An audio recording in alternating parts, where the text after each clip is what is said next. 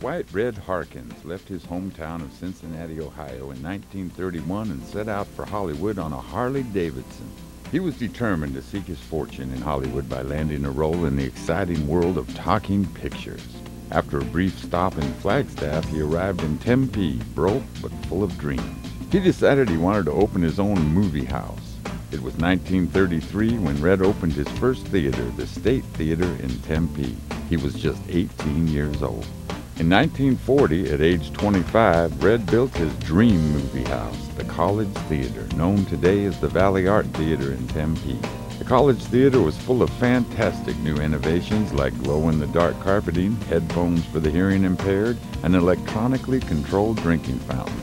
It set a new standard for theaters and established a Harkins tradition of employing the latest technology to constantly improve the movie-going experience. In the 1950s, he helped revolutionize the broadcast industry by inventing FM multiplex radio and launching the first radio station to transmit multi-track sound. Later, he pioneered the Valley's second radio station, Channel 12. When he passed away in 1974, the family theater business was left in the hands of his eldest son, Dan.